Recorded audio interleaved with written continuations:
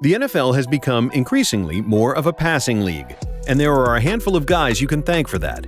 These players spun it better than anyone else in their respective eras, and as a result, convinced teams to throw the ball more over the years. Here are the greatest NFL quarterbacks of each decade, with some seriously worthy honorable mentions.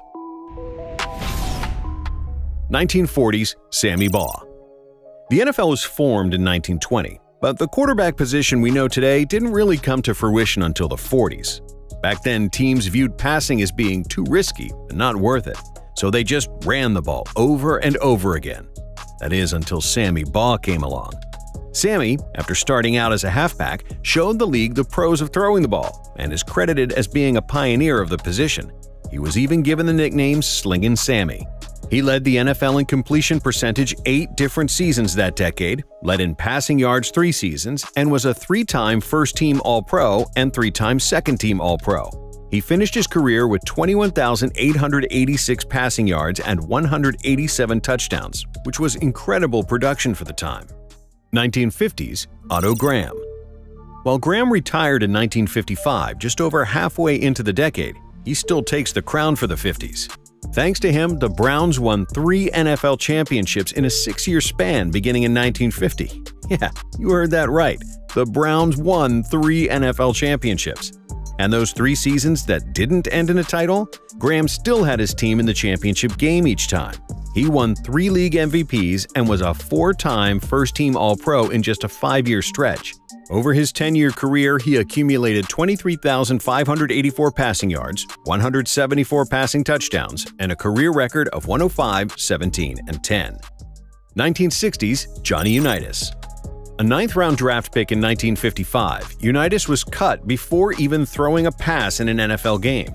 He started playing semi-pro football for $6 a game. So Unitas' career was a true rags-to-riches story. He won two league MVPs in the 60s and also led his Baltimore Colts to an NFL championship win in 1968. Johnny U was also a seven-time Pro Bowler that decade. His record of throwing at least one touchdown in 47 consecutive games stood for more than 50 years. People considered him to be the prototype for the modern era marquee quarterback. Unitas finished his career with 40,239 passing yards and 290 passing touchdowns, which were both records at the time. 1960s honorable mention, Bart Starr. All Starr did was win in the 60s, leading the Packers to five NFL championships before winning the first two ever Super Bowls. He was even named Super Bowl MVP in both games. Bart led the league in passer rating five different seasons throughout the 60s as well. 1970s, Roger Staubach.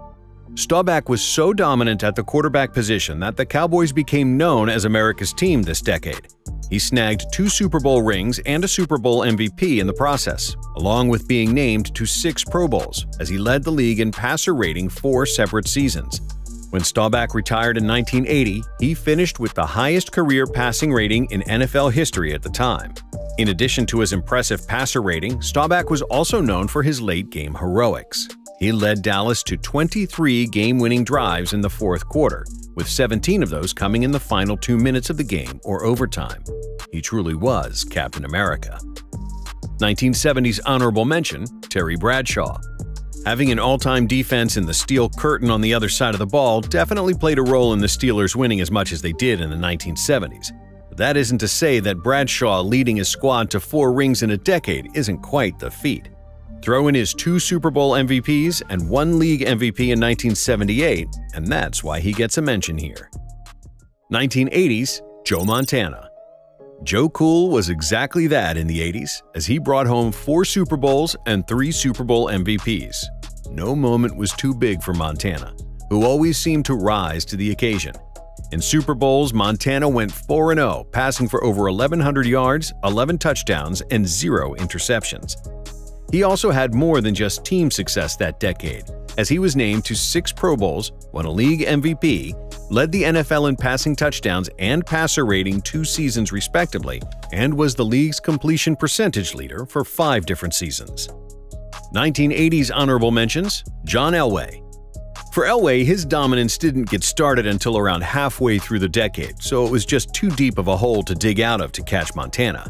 He did his best to do so, though, managing to lead the Broncos to three Super Bowl appearances, making three Pro Bowls, and winning a league MVP.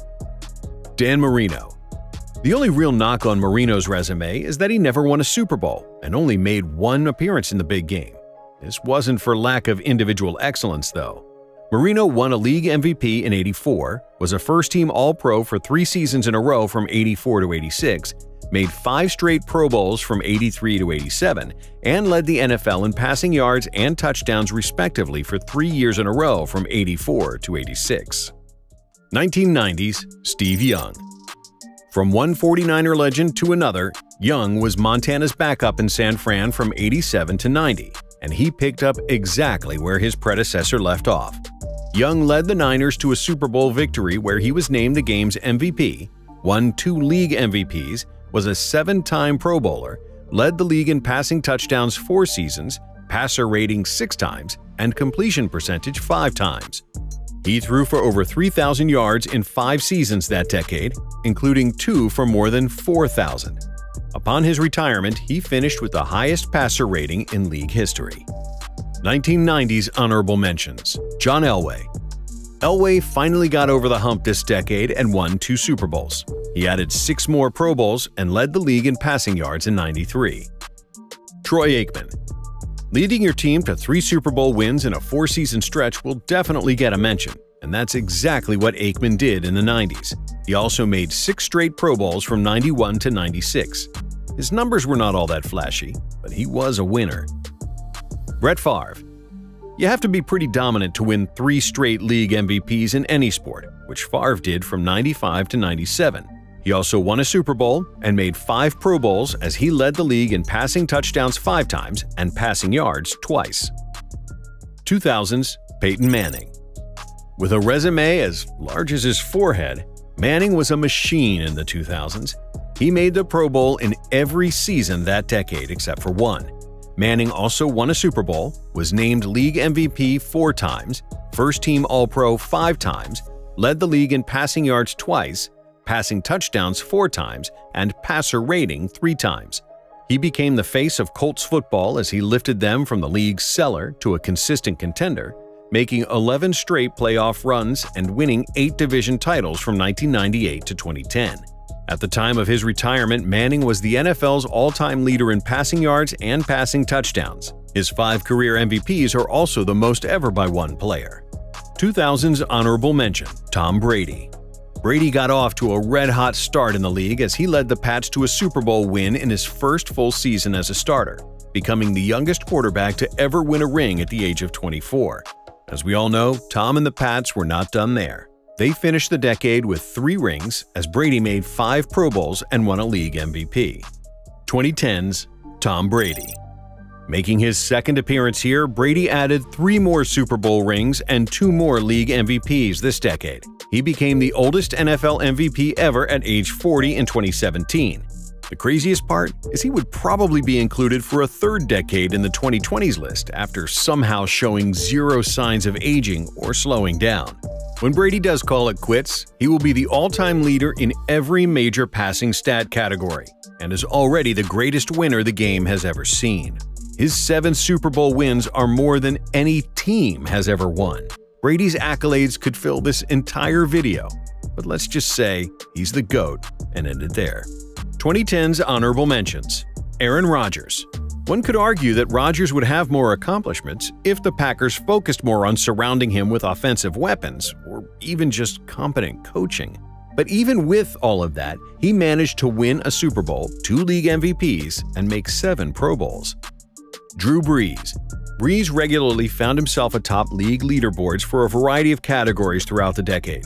He led the NFL in passing yards five out of six years from 2011 to 2016, completion percentage four seasons, passer rating once, and passing touchdowns twice. He also made the Pro Bowl every year except for one.